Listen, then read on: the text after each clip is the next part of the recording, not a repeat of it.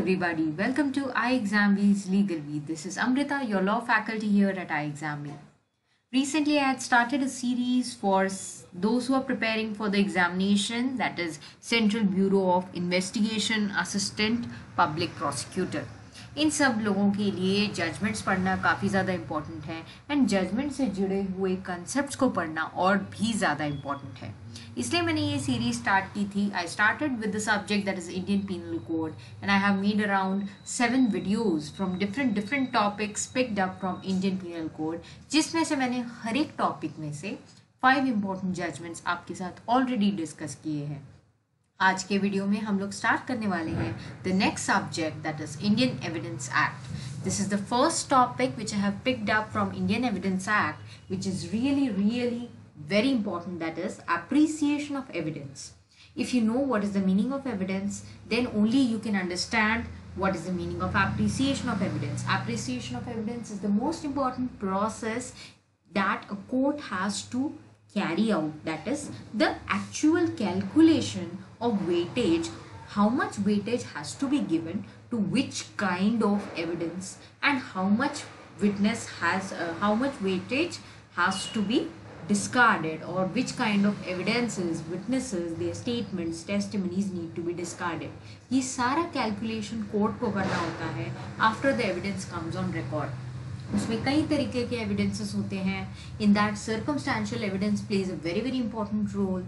eye witnesses hostile witnesses, child witnesses. So, all these things are very important concepts and इनसे related हम कुछ judgments इस video में पढ़ने वाले हैं। जजमेंट्स पढ़ने का फ़ायदा ये है कि हमें सारे कंसेप्ट की क्लैरिटी भी आ जाती है and we get updated with the landmark judgements और the important crucial judgements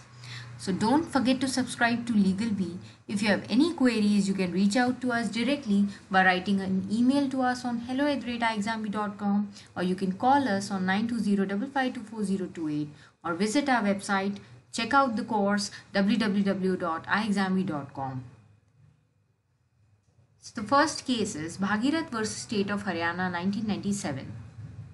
In this case, it was held that when both witnesses clearly stated that the accused had fired a gun from a close range and such deposition clearly corroborated from the medical evidence, then their evidence could not be thrown out in vain simply because of some contradictions in their deposition.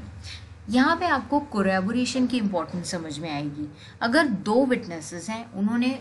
जो statement दिया है, उसमें कुछ थोड़े बहुत deposition में contradictions ज़रूर आए हैं। लेकिन जो उनके स्टेटमेंट का मेन कंटेंट है, वो मेडिकल एविडेंस से अगर क्लियरली कोराबोरेट हो जाता है then definitely that is a reliable statement next S Kaliswaran versus state by inspector of police Pollachi town this is a very recent case in this case it was held about circumstantial evidence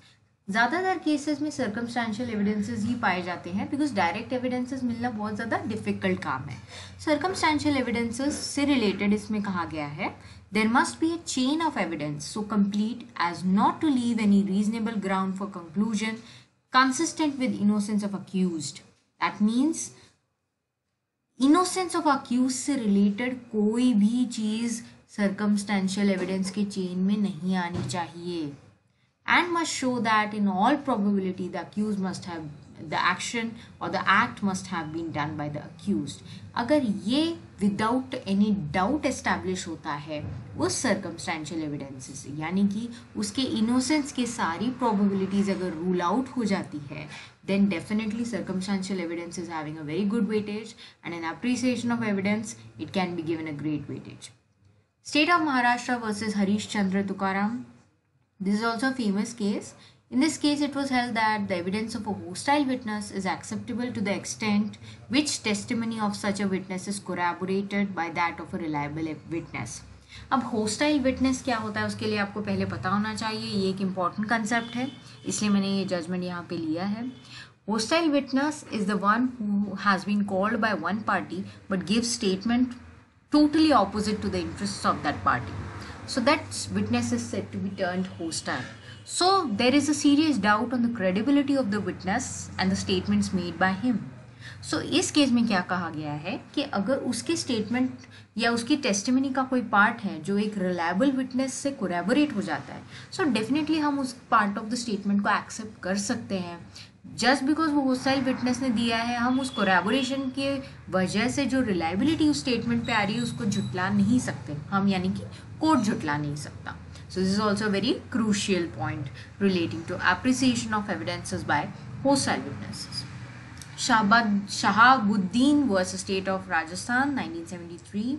In this case, it was held that number of circumstances combined may result in an irresistible conclusion of guilt.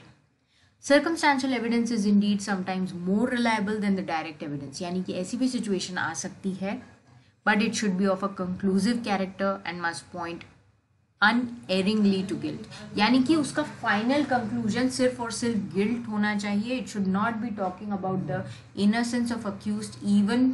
one percent The absence of motive is also a strong circumstance that is lying in favor of the accused, particularly in the cases that are depending upon the circumstantial evidence. So, अगर हम absence of motive को भी prove करते हैं तो वो एक strong circumstance बन जाता है in favor of the accused.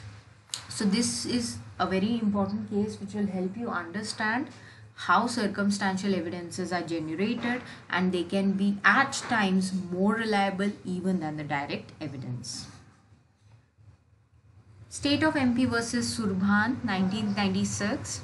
In this case, the Honorable Supreme Court of India has held about sole child eyewitness who is deposing that the accused attacked from behind and gave a single blow with a falia. Other injuries inflicted upon by three separate blows were not explained. There was no corroboration of the version of this child witness. So definitely, if there is a sole witness, eyewitness is sole, but he is a child,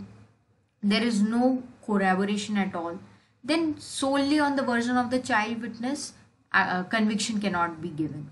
So in this case, acquittal was given by the lower court and it was confirmed by the Honorable Supreme Court of India as well. यानी कि child witness एक reliable witness ज़रूर होता है लेकिन हमें child witness court को child witness के स्टेटमेंट्स के साथ कोराबोरेशन की डेफिनेटली रिक्वायरमेंट होती ही है आवश्यकता होती ही है so this is made clear in this particular case because there was no corroboration so always remember corroboration of evidences is the safest thing which the court can do while appreciation, appreciating the evidences. I hope this content has helped you all a lot in understanding what is appreciation of evidence and the different type of witnesses and the statements. These are the different types of judgments that I have tried to gather in this one particular video. If you have any queries, you can reach out to us directly in the comment section of this video and prepare 50% faster with us at iExamB.